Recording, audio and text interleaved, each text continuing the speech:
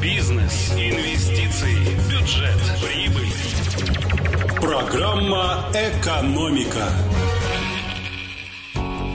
студии Мария Кожевникова. Здравствуйте. За 3 миллиона разработают проект капремонта улицы Боровского в Кирове. Отремонтировать собираются 300 метров на участке от улицы Ульяновской до проспекта Строителей. Сейчас власти ищут подрядчика на создание проектной документации. Информация об этом появилась на сайте госзакупок. Заявки на участие в торгах принимаются до 19 мая. Итоги подведут 24 числа. Начальная цена контракта проекта 3 миллиона рублей. Подготовить всю проектную документацию победивший подрядчик должен будет к весне 2024 года. Экономика.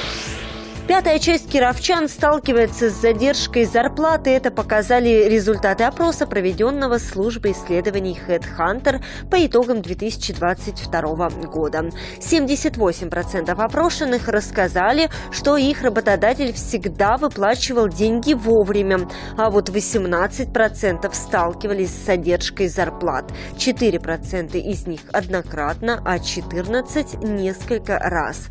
Наиболее непростая ситуация в таких сферах, как туризм, гостиницы, рестораны, искусство, развлечения, масс-медиа, строительство и недвижимость. В эфире «Экономика». В Кирове чиновников через суд заставили ремонтировать жилье в маневренном фонде. Речь идет о восьми квартирах в домах на Ленина 79, Пятницкой 1 и Красном Химике 9.